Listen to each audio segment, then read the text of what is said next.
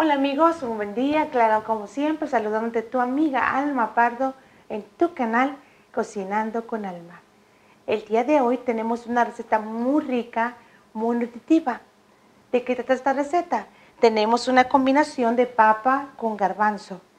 Pero tengo que explicarte un poquito más de todos los ingredientes que vamos a usar aparte de la papa y el garbanzo. Los ingredientes para usar el día de hoy, dos cebollas blancas cortadas en julianas, comino en polvo, ajito, como te dije, no puede faltar, un poquito de chile cayenne en polvo opcional, sal y curry. Aparte tiene un olor delicioso. Tienes que por lo menos dejar una noche anterior el garbanzo remojando. Así que vamos a comenzar con esta receta. Con aceite en este sartén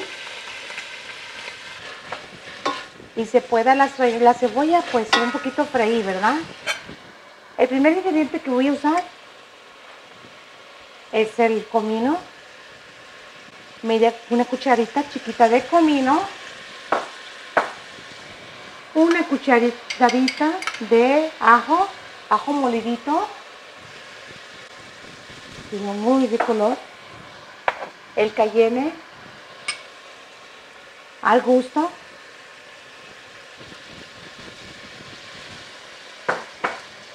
Una cucharadita de curry. Muy bien. Bueno, vamos con el siguiente ingrediente que va a ser mezclar la papa, cuadros. Eso es.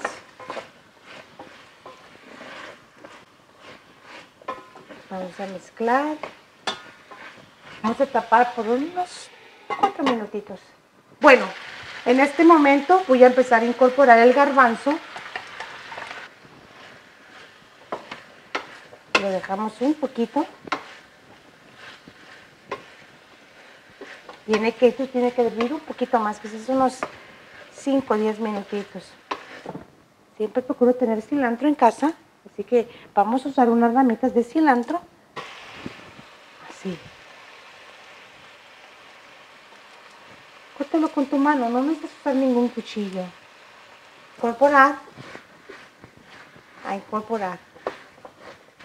¿Qué hacemos? Sal. No hemos incorporado la sal. Vamos a incorporar nuestra sal. Necesitamos agua. Aproximadamente para que tú puedas eh, tener este guiso usarás una tres cuartos de copa aproximadamente que se evapore el agua, un poquito se evapore el agua y entonces podemos decir que está listo.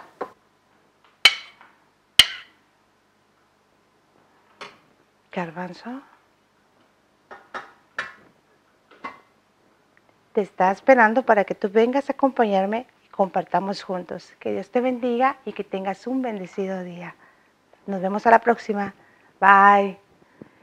Tu canal Cocinando con Alma en este día está muy agradecida y a todos lo único que les puedo decir, buen provecho, salud y nos vemos a la próxima. Bendiciones.